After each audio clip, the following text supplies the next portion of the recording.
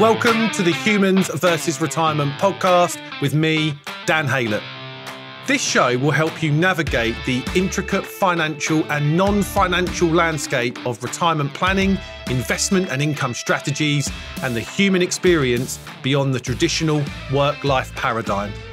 Join me as I delve into the challenges, triumphs, and unexpected journeys individuals face as they transition into this new phase of life. From experts across many different areas to personal stories, we uncover the secrets, insights, and practical tips to empower you on your retirement journey. Whether you're just starting to consider retirement or already enjoying this chapter, this podcast is your guide to making the most out of this remarkable phase of life. Now, on to the show.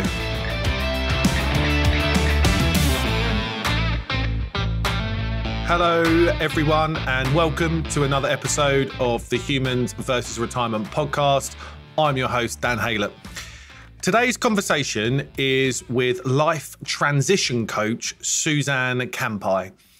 Now, Suzi is a certified co-active coach and has made it her mission to understand the process of personal and professional transitions and the challenges that come with them. She is so passionate about working with clients to help them see through and make a pathway for the life they want to experience.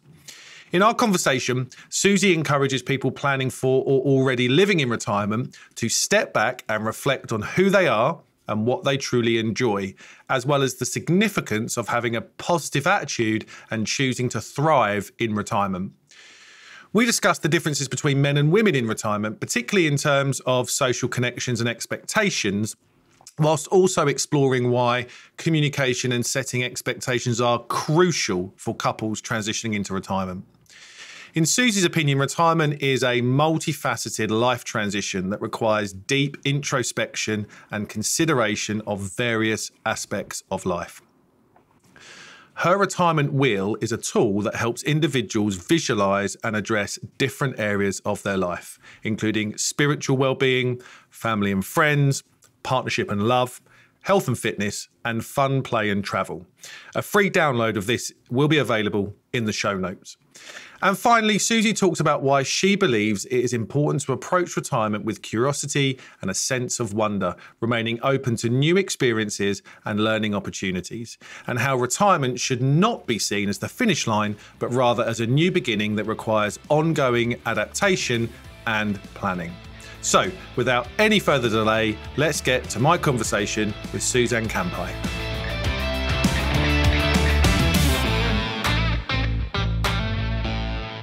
Susan Campi, a very warm welcome to the Humans versus Retirement podcast. Thank you so much, Dan. I am so honored to be here. Uh, Susan, I can't wait to have this uh, conversation with you we had we've had some back and forth on social media. We had a Zoom call a couple of weeks ago where we talked about mapping out this conversation. So uh, thrilled to have you here, and I can't wait to, uh, to to have this conversation. Before I get to you introducing yourself and a bit about your journey, I want to let the listeners know, and I'll put links onto your great website and the services that that that, that you offer as as a coach. Um, but your bio on your website, it, I think, is fantastic. Um, and I'm going to read it word for word, and hopefully that intros you in to, to tell us a bit more about how you uh, got to, to, where you are now. Um, I coach people going through a big life change on how to use their transition as the spark to create the life they want, one driven by purpose and meaning. From finding a fulfilling career to managing any of our life's many evolutions. Now, if that doesn't speak directly to kind of the work that I do with retirees and the listeners, then I don't know what. So I'm thrilled to have this conversation. Tell me a bit more how you um, how you become um, the, the coach that you are now, and and and how you become and how you started to do the work that that you do. I've had a diverse career. I started out in real estate sales when the kids were little and spent many years in high tech recruiting here in Silicon Valley for software companies. So, as well as owning and operating a fitness studio, and that was a, a, bit ago, about 10 years ago, that I owned and operated a fitness studio that specialized in baby boomers and their parents. And back then, uh, there were more baby boomers had parents, but I was a wee one in my late 40s at the time. And that was a fabulous experience.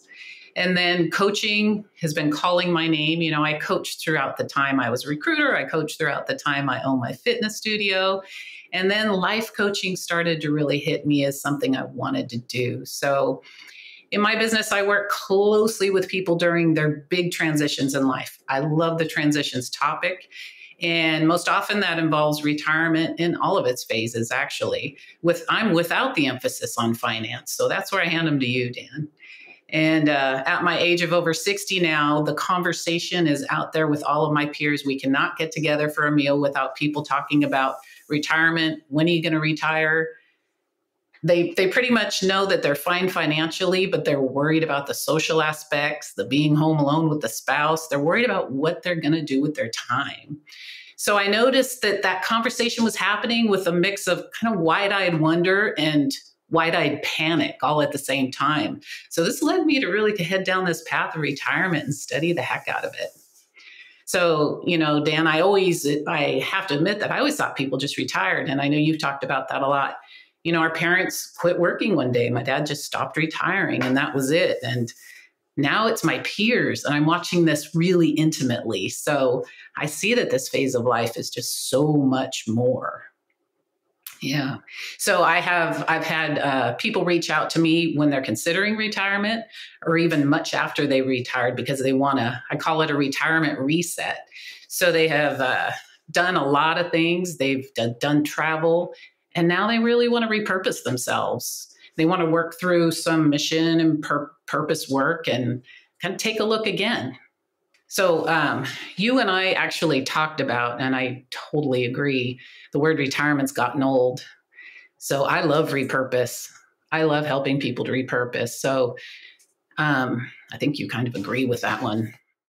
I mean, we can we can assume, you know, if we're retiring at 62, 65, we could have a lot of years left. So I feel like boomers are retiring differently than their parents did my dad was very happy to purchase a recliner and hang around the house. And then my mom worked all all her life raising eight kids, so she was hoping to travel a lot and they didn't really align.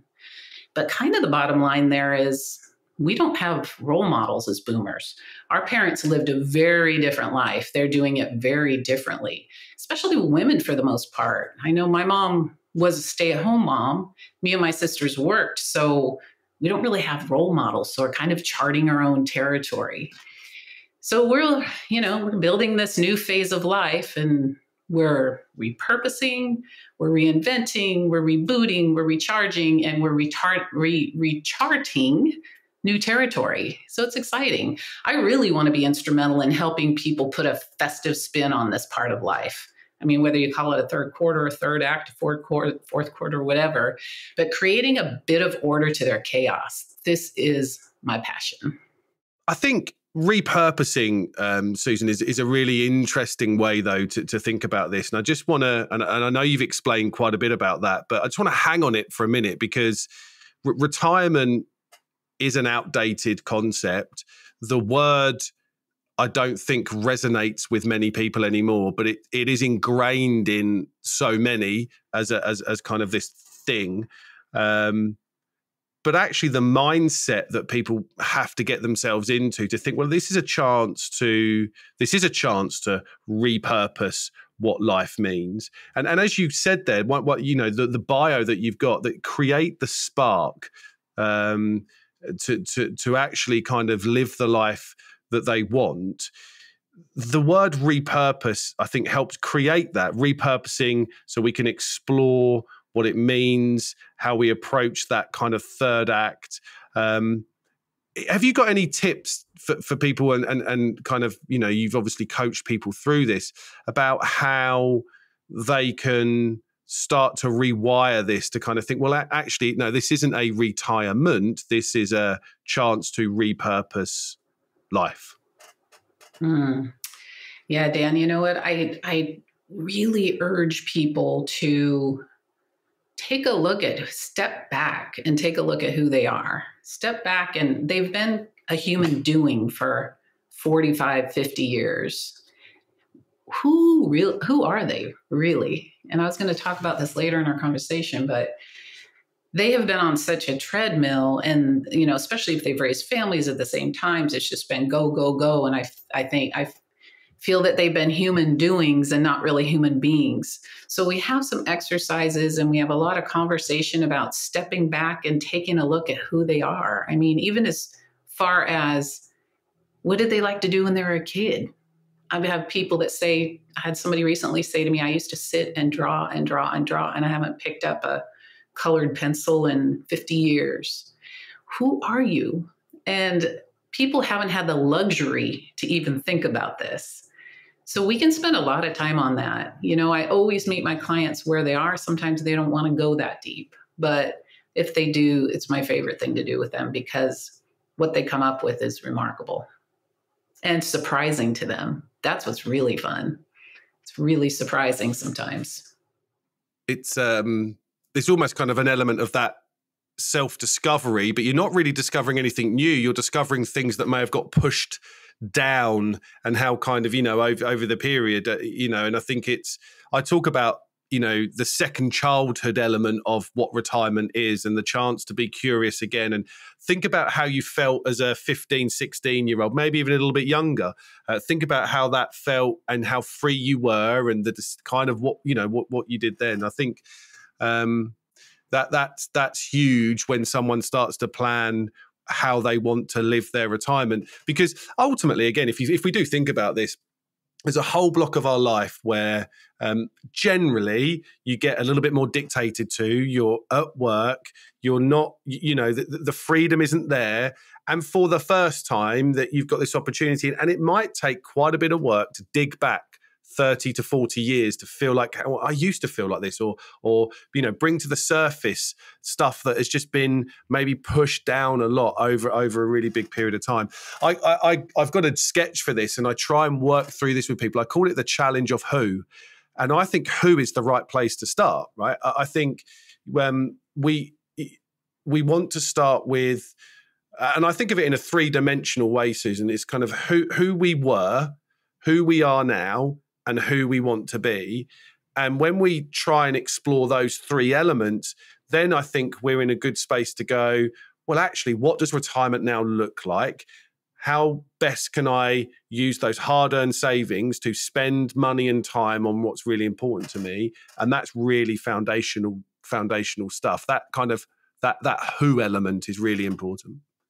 I agree. And the sky's the limit. People can be completely different on the next phase of life. They don't have to be the same. If they had been a head down, serious person, they can lighten up. They can choose a different way and and ingrain that in their in their new psyche. It's the sky's the limit. It can be very exciting. And I don't think people tend to have that, you know, the word retirement again, they don't have that schema in their head that it's going to be that they can be yeah. different. Yeah. So it, it's just exciting. I think I think retirement for many has has um, it has negative uh, meaning as well as mm-hmm. positive meaning, right? And right. you know that that's why the word and, and what's associated with it ca- can drive some some negative emotions. I think what's interesting for me is when we when we talked a couple of weeks ago you know, re- retirement is obviously that, you know, this really significant transition that involves huge amounts of change. And that's where you spend all of your time. Um, and, and, that can obviously be a scary time for many people. And I think that's why the retirement word has negative co- connotations. This is actually quite a scary moment in life. What the hell am I going to do with my time? Um, I'm just going to just get through this, right? Um, but when, when when you and I talked, we talked about well, actually, how can people not only survive which is a basic foundational human instinct. So we, you know, human beings will always look to survive first. Um, but more importantly, thrive during this thing. How can we shift this uh, rather scary, monumental transition and change that makes us feel a little bit uh, anxious? What to, to, kind of understand? Well, here's the survival element, and actually now I'm going to go ahead and and and thrive and and and spark into life. You know what? I, I go back to the to the foundation. It's not not to quote a quote that's quoted too much but ben franklin said it well by failing to prepare you're preparing to fail. And this isn't a win lose or fail situation but pre- preparation is everything. And really being thoughtful and mindful. And i hear especially from my male clients that it didn't enter their mind to go anywhere but to the numbers first. And they realize later, oh man, there was way more to this. But uh, you know, they've even said to me, well, guys kind of don't tend to talk talk about stuff like that. So so having this out there, even having it out like you have it out in the ether and having more books, more people talking about this, you know, they prepare for that financial piece and um and then the awareness uh excuse me, and then they that's it the buck stops there. So getting going back to basics work, working with a coach or working with somebody who will listen to them to go through some phases. There's i know there's books out there on going through steps of a transition and if they could really be mindful about it it would it would be fabulous. Um, and i think the thriving part comes with their attitude and really choosing their attitude in their next phase of life. We can choose how we, re- we excuse me, we react to everything, right?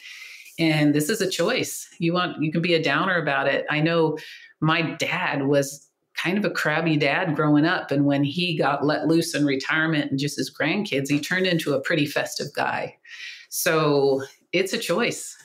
It's a choice. I think that it's really interesting. There's loads of research about the, your attitude in later life um, your attitude as you age, and actually how that extends your life by quite significant um, years, like four to five to six years in different studies that you see. Right, this kind of positive attitude towards living life in your 60s, 70s, and 80s. This positive attitude towards going, well, actually, I'm going to find new things that I need to do and, and have a thrive mindset rather than just a survive uh, mindset.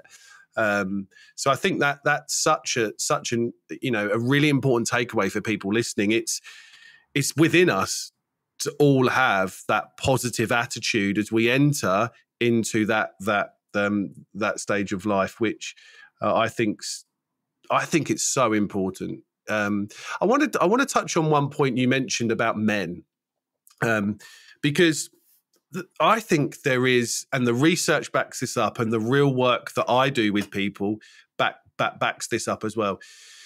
There is a real disparity between men and women when it comes to retirement. I think, on general, women tend to retire better than men because women seem to have better social networks and are better at making social connections and are better at change.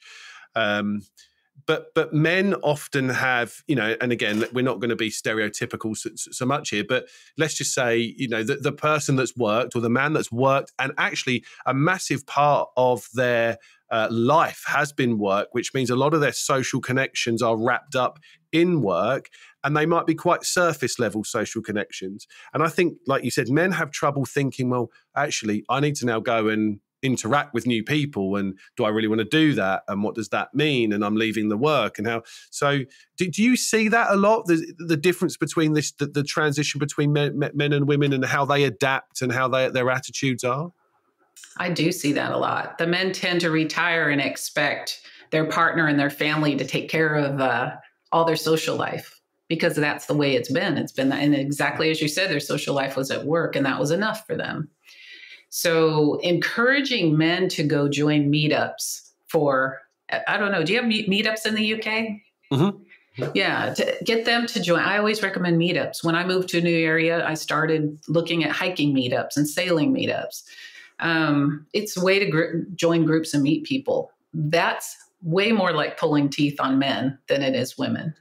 And I don't, that's a, that's a deep rooted thing that isn't easy to change, but bringing it up to them it's it's like a paradigm shift when you say, "What do you think about me?" You know, looking on Meetup and seeing if there's hiking groups or golfing groups or what. It kind of, you know, it's it. I feel like I'm really, really telling them something they don't want to hear, but some will do it. Some will do it. Now there's even men's groups that are quite spiritual in nature that are growing here in California at least. So so some men are even doing that to get their bearings. So, you know, it's we're evolving as a species. We're evolving in understanding that we're the we're the ones who drive our life, right? As we just talked about. And some of them want some of them will adapt and some don't. Another thing about the men and women and this was a piece that I find really interesting is that we have a whole different, and this could be a whole different podcast situation with women, especially executive women. Now, when they're in their 50s and 60s, and I kind of hate to say this, I don't mean, want to sound sour grapes, but as women are in their 50s and 60s, they're a bit ignored by society. Um, we're, we're, we don't feel as seen. And that's not to be paranoid, that's just kind of a fact. And it happens to old people in general. But women who were known for their career and they were executives and they walked in a room and everybody stopped talking and turned around now they're in their 60s and they're retiring and they go out in society and they're just not that important anymore. And they don't have that situation where the seas part for them when they walk in a room. It's a huge adjustment. So women and men have different issues in retirement. I mean this could happen to men as well of course but women they're so revered if they are high up, you know, in a, well, everybody is when they're VP level and above. But for women then to be in a society that kind of ignores them after they retire, it's rough. And it's something that we work through. I was thinking of, st- I was going to start a support group on it or a support group, but uh, kind of courses on it because it's, it's rough my experience when talking with couples is that they they end up both assuming that one another are thinking the same thing that it, it's a real challenge for them to kind of bring out their con- own concerns and their own challenges because you know it it's the husband is is, is thinking that the wife is thinking what he's thinking, and the wife is kind of well. It's so communication is so critical in in in this in this point for for couples that um, that, that, have had different lives. Um, I was talking today to, to, someone about this, going, well, you're moving from a, a situation where you've been apart for a big part of your life, right? So, you know, yeah, you've come together at certain points, but you both might be working and you both might work different hours. And, you know, you but then you have the children potentially, and, and, and weekends you might split yourselves a little bit around and all this stuff and that's happened for such a prolonged period of time that you're then saying, oh, by the way, you're going to now spend all of your time together for the rest of your life. And that can be quite, da- if not talked about, that can be quite daunting for people. And that transition into that, if not thought about and planned for and talked about, can lead to some real trouble in people, I think. Absolutely. I think I heard that the divorce rate is actually way oh. up for people over 60, right? Yeah. Yeah. Well, I think that's the, you know, it depends. If you've had a pattern of not communicating about things your whole whole marriage, this is going to be a rough one. But if you could, you know, get it together and communicate and um, you know, I like you have even heard of couples who have taken a weekend away to plan talk about their expectations. I know for fact with my parents, they didn't talk about their expectations. My dad's expectation was to sit and watch TV for the most part, do a little woodworking downstairs. My mom was looking forward to him retiring so she could finally travel. And I don't know how much they talked about it, but I'm guessing not because she was not happy about the level of travel. And she ended up going, you know, she, I don't know if she really knew that he said he was never going back to Europe because he was in the war, you know? He was not going back. So she went several times, but she went with friends and my sisters. My guess is because of their typical communication pattern that probably that conversation was not had. And she was frustrated a lot. You know, she had given her heart and soul raising eight kids and she did a good job. She kind of deserved to travel, you know. But he did go on some trips with her. And when I lived in Asia, he did go. So that was good. But those things need to be taught. The expectations, my gosh, it's it's really a simple conversation if you think about it. What do you want to do? what are you expecting to do? What do you think you'll do with your days? Well, I want to sit. Well, I want to hike the Camino, so I'm going to start planning with friends going on the Camino, you know. It's it's conversation. I think that the word that you said there is expectations is absolutely spot on. It, it's setting expectations and just simple kind of, well, what do you want to do? with your time.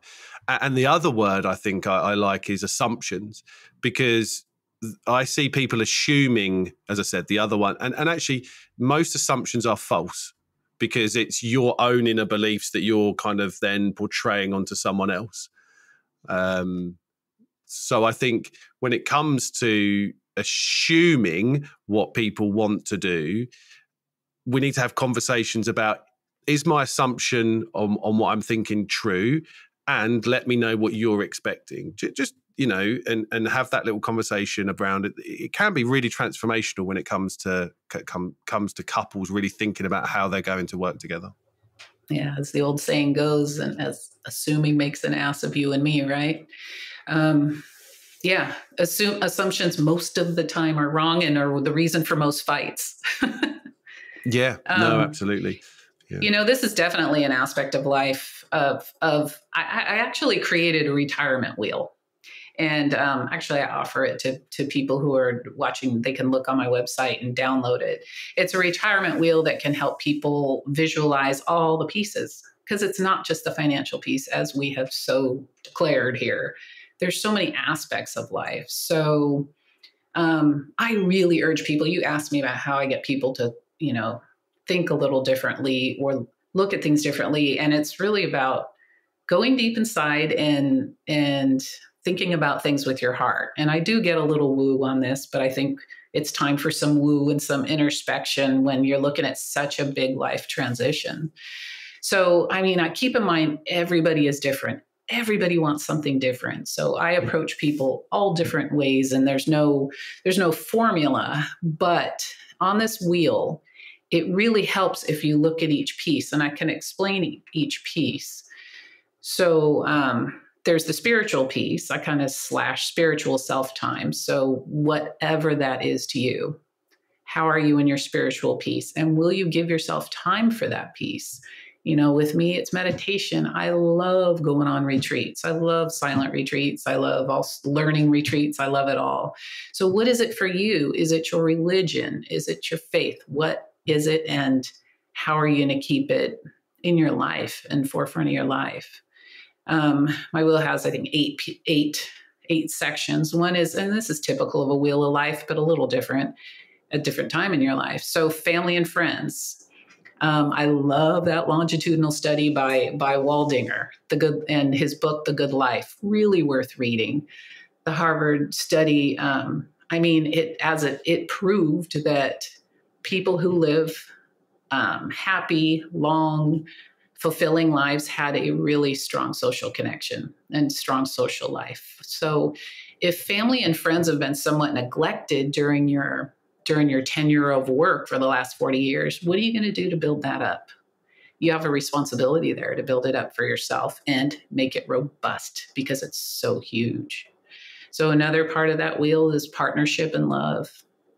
This is a big one as we just discussed. So what are you going to do to have that conversation? This will evolve greatly with retirement. You can't pretend it's not going to. I mean, everybody has a different situation. Somebody might reti- be retiring, going home to somebody that's already retired, or going home to somebody who's not home yet because they haven't retired. So, what's that conversation? If the other person hasn't retired, do they have any idea when they will? So, how can you make maybe a new vow, even to honor and be to be patient with one another, to honor one another's new phase of life because it's so new. It's like when you had a kid back in the day, everything changed and it's worth a talk. It's worth a talk. So another part of that wheel is health and fitness. And you know I love this topic since I was I'm a former gym owner and personal trainer, and I love to move myself. So I'm a hiker, I'm a yogi, um, dying to get on the Camino. I haven't done that yet, but um, nobody can tell me they're too old. I love when people try that one on me. When I had the fitness studio, I had Mary. Mary, I had her from the time she was 93 to 97. She came to my studio. She had been going there for years. And all I can say is that neurons that fire together wire together because she would come, she would take the summer off because she went back to New York. And when she would come back to California in October, she's I, you know, she didn't have a gym there. Not many people take a 93 year old in a gym, but I, she was my, she was my love. I loved when Mary walked in the door, and she walked ramrod straight, and she knew how to work out because she'd been a physical therapist. So she was just cool. And she would um, come back in in October, and she'd say, "Oh, you know, I haven't been, I haven't been working out. I can't even remember what she called it I think it was a funny name. But she would stand there and start with her balance. She'd hold on to a bar and lift a leg and lift another leg and lift a leg. And uh, she was just a riot. She was the first, she was the first one who said to me, you know, I'm I'm gonna slide in home base. I'm gonna get out of this life all worn out and I'm gonna be bruised and battered. But I think I learned later that was Mae West that said that. So the, the health and fitness piece of it's something you've neglected, which so many people do during their busy, busy executive lives. Do something to get it back. And I love making that fun for people. And I love making it something that's tailored to them because everybody likes something different. I used to have people at the gym that just hated certain things and they look at me with a panic on their face. I hate to run. And I'd say, that's okay. We don't have to run there's many ways to uh, to get people out and moving. And uh, another part of that wheel is fun, play, and travel. And one thing I like to ask people, we talked about this earlier. Well, we, did talk about this. Is what did you like to play when you were a child? And not only what did you like to play, but what did that feel like? Because when somebody asked me this question not too long ago, the only thing I could picture, because I, I did a lot of dumb things I'm not going to do now, like playing ding dong ditch, playing tag in the street and making mud pies. I'm not going to do that. But the way I felt, I used to spin around, skip. And when somebody asked me that question, I thought about it. It was more the feeling I went to and just the feeling of lightness and sheer carefree. So I actually went online and bought a hula hoop. I thought I'm going to so hula cool. hoop. And what's yeah. funny is uh, at my gym we had hula hoops, and you know I specialized in boomers and their parents. So people would walk in and I would hand them a hula hoop, and they first they look at me, look at it and me like I was out of my mind. Then they would take it, get this huge grin on their face. Like you cannot look at a hula hoop without smiling, and you can't try it without smiling. So it's about the fun. It's about bringing fun and lightness back in your life. And maybe maybe that's me. I'm I, all I ever want to do is have fun. But I'm gonna I'm gonna get my clients to do it too. So another part of that wheel is curiosity and learning. Remaining curious is everything. We don't want to be boring old people. Um, I'll tell you, my number one thing for curiosity, learning, growth is podcasts. That's how I found you. I freaking love podcasts. I can learn anything on a podcast. I'm a podcast and YouTube junkie, and I spend a lot of time hiking my mountain, which is right there. And it's always a podcast, always. I never have, I don't have a lot of idle time where I'm not learning something. It's just fun. So I follow thought leaders, and um, I just feel so lucky that that's at our fingertips now. We don't have to go to the library to learn, we just pop it in. You know, I like to plug um, I'd like to plug MEA here. It's uh, have you heard of the Modern Elder Academy? Uh, I have. Yeah, is that uh, Chip? Yeah, that's Chip. He just put out the book Learning to Love Midlife. That's a fun one. MEA, it's a, it's it's a midlife wisdom school. I'm a part of the alumni now because I've gone to one of their courses down in Baja and had done one of their online courses. Fabulous and fabulous about about being around like-minded people who are going into this next phase of life with that curiosity mindset and just a sense of fun and wonder. It's what it's all about. Hi everyone, Dan here. I just wanted to jump in real quick to say that if you are thinking about or unsure where to start with your retirement plans, then I've put together what I believe to be one of the best free resources for you. My retirement toolkit is packed with videos, guides, webinars, worksheets, blogs, and podcast episodes, and is completely free to download. Just go to the show notes where you will find the link. Now, let's get back to the show. Thank you so much for sharing your, your, thoughts about the retirement wheel, and I'll I'll make sure that that links are all all on that to do that, and that, that I agree with you about the book, The Good Life, and all that. It's just, just absolutely brilliant. Um, I want to I want to go to um, just to, kind of on this same topic, right? We we talked about assumptions being dangerous. Um, I think one one of the problems I see is that many people see retirement as kind of like the finish line like the end game, like the holy grail, the thing that I've been working for 30 years has come about. Like all my problems will be solved when I retire, right? That's kind of what they hear is the finish line. Um, what, why is that a dangerous assumption to make? And, and why must we view retirement as that start line and, and, and new beginning? Mm, I love that question, Dan. I think the finish line is when you're dead. So I, wouldn't call it the finish line. Um, I see that a lot. And I saw it in a friend recently. And um, it didn't turn out that way real fast, which is a bummer. But people think retirement is their panacea, right? That they're going to retire and all of a sudden life isn't going to be life. There's going to be butterflies and songbirds and and no problems whatsoever but they need to understand that life is still life. It still has its ups and downs and its wins and losses and all of the nuance. Also, you know, best laid plans, we talked about that. You know, maybe the plans you made that you're so solid about, so sure you're going to, you know, do were didn't end up floating your boat. So maybe you're done traveling. Now what? You know, perhaps taking care of the grandkids wasn't all it was meant to be so, you know, that's all okay. We we we reinvented if you think about it. There is no fail. We reinvented throughout our professional life. There's no absolute rules for retirement. So we can reinvent our we can reinvent our retirement as much as we want. So, you know, eh, hit the reset button. It's important that people understand that there's no one way and there's no one set in stone. But, you know, they want to they now i forget your original question that i said was a good question. Um, i just think they have to realize life is still life. You're still going to have your your adult kids that are going to do wonky things and whatnot. Life is life. Um, and you can roll with it. And your plans might get skewed and you can reset. And what's the worst that can happen? Get fired?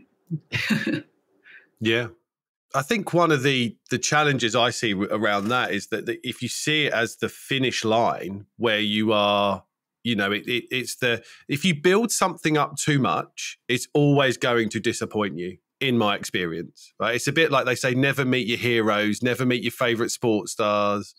That, that it's kind of, you know, they don't it's don't meet you you know don't meet your heroes that kind of thing. If if if if people build something up too much as this thing this thing that's going to impact everything then I think it's uh, you're only setting it up to disappoint, and I think that's why you know seeing it as the panacea, the holy grail, is a really a really dangerous assumption to make. See it as a new phase of life and uh, a, a new beginning, and and and put some work into it right? Like like any transition like any new moment when you think about new career whether you've had children moved house all these other little transitions you've done they require work and time in order for us to feel like that you know that we've put the work behind the scenes to do it. It, it, it brings me on to that um I think which, you and I have uh, spent a lot of time looking at uh, the brilliant William Bridges and his and his kind of transition uh, model that he has. Um, I, and I'd love for you because I know you you you use this a lot and you think about this a lot when it comes to this. And it's a wonderful model. Explain to me that the, the phases of a positive uh, transition and why they're so important for people to understand and to think about and to plan with. Well, um, the work of William Bridges is just instrumental in what I do. The um, you know, retirement's a huge transition in life, and he wrote the books on tra- books, a couple books on transition. And like many a big life changes, it needs some forethought on many levels and some respect on many levels: social, psychological, physical. You know, all well-being levels. So, if we look into transitions theory, um, very simplistically, it states that there's an end that prompts your transition. I remember just thinking that was interesting. I thought, oh, no transition in life happens without something having ended first. So when you're looking through a new beginning, like retirement, it's because of the ending that happened that prompted it, which is stop and work. So there's what what William Bridges called the messy middle. Um, so first there's the ending, then there's the messy middle, which I actually like to rename the miraculous middle. Um, I think I'm a bit of a Pollyanna, but Messy, yes, but it's also miraculous. It's where everything happens. It's all the transformation and growth, and you're trying new things. You're learning what you want as well as what you don't necessarily want to do. You're choosing some things, dumping others. There's wins and then there's setbacks. The middle just goes in a zigzag fashion. I like to say it's your zigzag, your zigzag. Uh, transformational space. There's so much and it's so beefy. And when people are in that phase of trying to figure things out, they get down on themselves. I say, but as long as you're stepping one little step in any direction, things are happening. It might not happen fast. It definitely won't be linear, but there's that middle space where we want to really give ourselves some grace and and be kind to ourselves. So thinking of life transition as an ending, a miraculous and very busy middle. And then the new beginning is when you stop work. But then that keeps being transformed, which is really fun. So, um, I mean, I could go more deeply into that. Um, when one thing I recommend, and people don't always think this this is a paradigm shift for them, and I feel this with all transitions, even when you lose somebody that you love very much really take a solid look and mourn if you have to mourn the ending or just honor the ending. Um, people don't think of patting themselves on the back for a career well done. I mean, love yourself for all that hard work. Uh, have gratitude for yourself for what you've accomplished. I mean, they had to go through crazy amounts of work and stress to get through a big career. I have people write themselves a letter of thanks for all their hard work if they're so inclined. Um, just sit down and write, write themselves a letter and uh, write all their major accomplishments. Or, you know, if that's not their thing, they're more of a linear thinker, write all your major accomplishments, all of them you can think of from each job. Or if they're too humble for even that, how about write down all the people they feel they influenced along the way? That's a fun one. How many good leaders did you create? How many people said, Thank you so much for saying that to me? Thank you so much for that training. You saved my life. You know, there's so many wins along the way. Counting all those wins is just wonderful. So, you know, it's a it's a rite of passage. And I know when I left my last job, I wasn't going to do anything huge and I wasn't sad about it, but I um I actually just thought I would take a day and I hiked 10 miles. I just wanted to put 10 miles on my on my hill. Um, I have a friend who was forced into retirement. He went and hiked the Camino for three months. You know, there's so many things you can do to commemorate. I even knew somebody that had a Star Wars party because would Star Wars come out in 77 or 79? And that was the year they started their career. So they had a Star Wars party. So people can be creative. It doesn't have to be expensive. It could be a big trip, but it doesn't have to be. So something to really commemorate and kind of put a period on that and move on. Then we move into the messy middle or the miraculous middle. See, now I'm saying it. So, so much in the in the miraculous middle. There's so much growth, and it's really a fun time to work with people. One of the things I think that definitely happens for me is that they, this they end up doing this too late. It's kind of that the retirement the retirement thing happens and then they do step one, and then they do step two, and then it's like it's well, actually, no, as you as you've rightly said, you know, the new beginning is the is the is the day you retire and, and go. So, I think that my takeaway from that, and what I want to try and get across to the listeners here, is that this is a multi-year planning thing to transition properly that requires you to understand what the ending looks like, understand what letting go looks like, understand the emotions that that will give you. Maybe, as you said, gradually let go of these things over a period of years. So it's not a kind of a massive hit um, on, on one particular day or week. Think about that, you know, and, and live the messy middle before you get, you know, you don't you don't want to be in that messy middle stage having retired already because you're going to have to go through a series of motions of what that looks like, and then you hit that end date. So I think it's um, it's really important to give time and grace to this planning process. I, I heard uh, last year sometime that um, that anecdotal quotes out there that people spend more time planning a two week holiday vacation than they do uh, planning a 30 to 40 year retirement right that's kind of like it's it's it's, it's mad you know you, you're planning a massive stage of life so you need to put some work and do some do some heavy lifting that's very true, but also there, if I look at it as there is not no wrong way. I had somebody no, reach out to me no, re- recently yeah. who had been a year retired, and now they're now they're thinking, "Oh my gosh, I never planned this. What am I doing?" That's also a fun time to. T- we can go all the way back to the beginning and take do some purpose work and really take a look at who they are. And it's sometimes a fun time for them to do it because they are relaxed now. They and i try to get them not to be um, down on themselves about taking a while. You don't have to be down on yourselves. There's no right or wrong. There's no right right path. And i think like you said with men they tend to wait until after they've been out a couple years to really process it.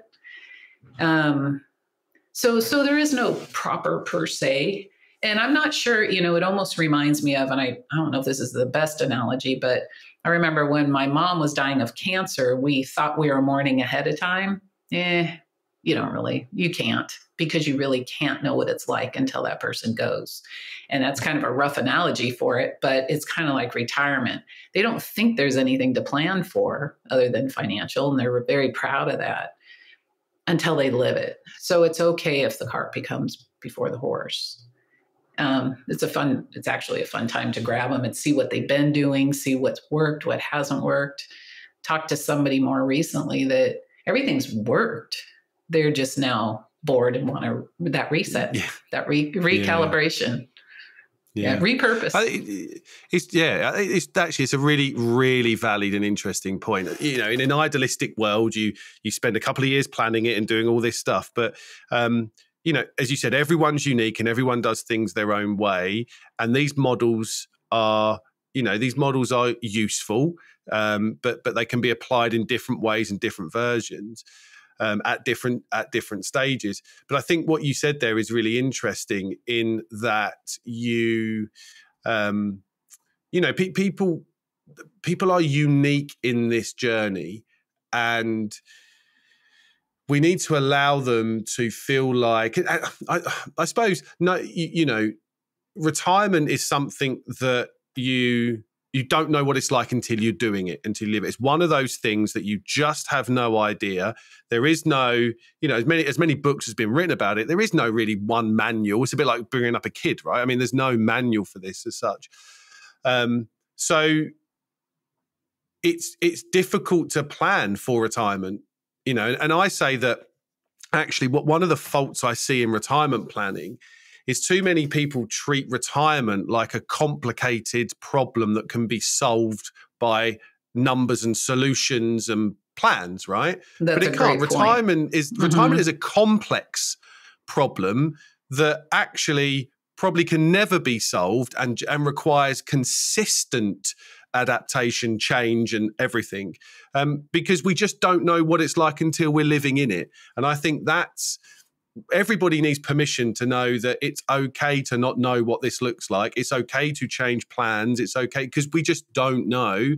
As long as we have a, I think as we started this conversation with some foundational stuff, that kind of purpose and meaning. I think as long as those foundational stuffs are in there, why do you want to pull back the duvet? Who do you want to be? Who are you trying to be? Then everything else is just a journey, right? And and who knows how you get there, but um, you need some guidance and and some understanding about that that the plans are just wrong because it you know because they're just never going to be lived because we don't know what the future holds. Right, like you say, that goal setting goals are made to be broken, right? And and life changes too much. You know, your kids are are growing, they're having kids, those kids are growing, you might be needed. They're so it time to be malleable, time to be malleable. And you never know if that hate to say it, but a need that's acting up. What's that going to bring me down the line? I've got to be patient. and having that grace with ourselves. Having that grace is just so important. I don't I do feel like in Western society we tend to beat ourselves to a pulp about everything. And if we're not perfect in everything, we really beat ourselves up. And I would love that's a whole different topic is people realizing that they're just all pretty cool and to to learn to love themselves. That would be a great thing to do in retirement. Susan, I think that's a wonderful place for us to kind of wrap this because I think that I mean that is quite a foundational statement, um, and yeah, I, I, would encourage people to rewind that last thirty seconds because I think that that's that's so so important. That is the foundation of a long, happy retirement. Um, Susan, where can people find you? And you obviously can be very gracious with your retirement wheel, which I think is amazing. And I'll put the show, put it in the show notes, put your um, website in the show notes. Um, but but um, yeah, people can find you. You've got a great website. You do a lot of coaching with with with people. Mm-hmm. Yeah. Um, well, I'm on LinkedIn, Suzanne Campi, just S U Z A N N E C A M P I and um, also SuzanneCampiCoaching.com. It's a bit of a mouthful. So check out my website. I do offer that wheel for folks and also a 30 minute consultation if there's any, if you'd like to have a chat. And um, yeah, and then follow me on LinkedIn as well, as well as connecting with me. Please do follow me and uh, I'll keep you posted on my upcoming webinar. Fantastic. Well, Susan, thank you for taking such, you know, a big amount of time out of your day to join me. It's been such a great conversation. Um, and I've loved everything you've said. And thank you for the work that you do. Um, and yeah, I know how transformation is for people. So yeah, thank you so much. Thank you for the work you do, Dan. I love that you're getting this out there to to the world and to your peers. I really do. Appreciate that so much. Um, and that just leaves me to thank everyone once again for joining us for another episode of the Humans versus Retirement podcast. Until next time, take care. Thanks for tuning in to the Humans versus Retirement podcast. I hope this show will arm you with insights, strategies, and a newfound excitement for navigating life beyond the nine to five grind. Remember, retirement isn't just an endpoint, it's a vibrant chapter brimming with opportunities for growth, adventure, and purpose. Keep exploring, stay curious, and embrace the next phase of your life with enthusiasm. Until next time, may your retirement dreams continue to flourish and inspire.